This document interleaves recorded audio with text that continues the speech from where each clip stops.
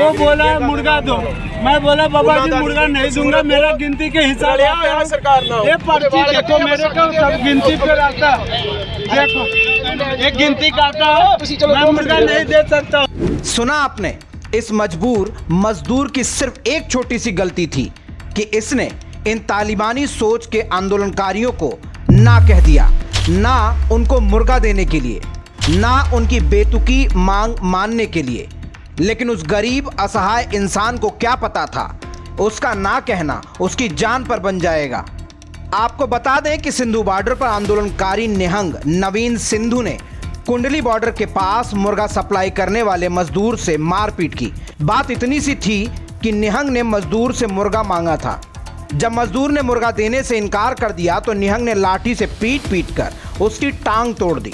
इतना ही नहीं, आंदोलनकारी के भेष में छुपे बैठे इन गद्दारों ने कुछ दिन पहले एक व्यक्ति के हाथ पाँव काट कर उसका शव पुलिस बैरिकेटिंग पर लटका दिया था।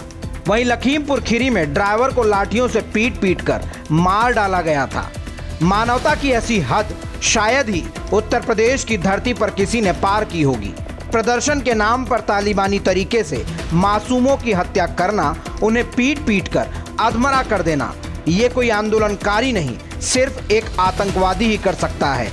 यूपी वालों, इन आंदोलन के अवसरवादियों को गौर से देख लीजिए। ये दिखते हम जैसे ही हैं, लेकिन इनका असली रूप एक आतंकवादी से भी ज़्यादा भयानक होता है।